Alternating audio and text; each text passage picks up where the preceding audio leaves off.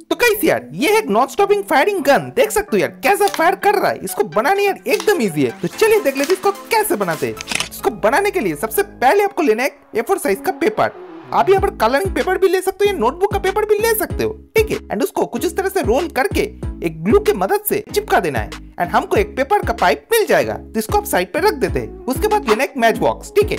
And match box का अंदर का ट्रे को निकाल के फेंक देना है।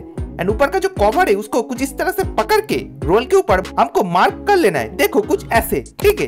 एंड इसको हम कट कर लेंगे। एंड कट कर लेने के बाद कुछ ऐसा देखने को मिल जाएगा, ठीक है? उसके बाद हम ले लेंगे मैच बॉक्स को। एंड मैच बॉक्स के नीचे का हिस्सा, कांची की मदद से कुछ इस तरह से छोटा करके हमको काट लेना है। देखो, कुछ ऐसे करके, ठीक है? एंड मैच बॉक्स के दोनों तरफ़ ग्लू लगा के जो हमने रोल के ऊपर काटा था, उसके ऊपर कुछ इस तरह से चिपका देना है। तो यार अच्छे से फिट हो जाएगा, ठीक है? तो देखो, कुछ ऐसा देखने को हमको मिल जाएगा। उसके बाद लेना है और एक पेपर ठीक है? तो इस पेपर को भी हम सेम तरीका से रोल कर लेंगे, लेकिन एक चीज़ ध्यान पे रखना, ये रोल थोड़ा पतला होगा, ठीक है? एंड थोड़ा हार्ड होगा।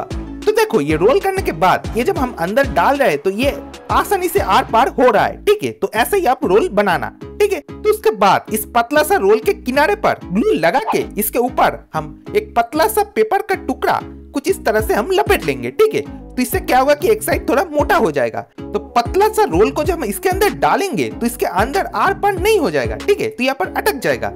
तो देखो यार तो अब आपको लेना है छोटा छोटा पेपर का टुकड़ा एंड कुछ इस तरह से रोल कर लेना है, ठीक है? रोल करके एंड पे ग्लू से चिपका देना है तो ये बन जाएगा हमारा बुलेट ठीक है?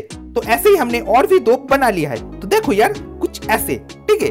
उसके बाद लेना है आपको एक रबर बैंड रबर बैंड को लेकर इसको बीच से कुछ इस तरह से काट लेना है? एंड काट लेने के बाद रबर बैंड को कुछ इस तरह से पकड़ के हमको सुपर ग्लू के मदद से चिपका देना है। तो देखो यार, किस जगह पर मैं सुपर ग्लू दे रहा हूँ? यहाँ पर ही आपको देना है। कुछ ऐसा काम करेगा आपका गन, ठीक है? तो आप आपको क्या करना है? मैच बॉक्स के ऊपर से आपको सारे बुलेट को डाल देना है, ठीक है? तो हमने यहाँ पर तीनों ही बनाए। आप यहाँ पर बहुत ज़्यादा भी बना सकते हो, ठीक है? क्योंकि यार नॉन स्टॉपिंग गन है यार। एंड जब आप इसको टानोगे एंड छोड़ दोगे तो ये फायर हो जाएगा।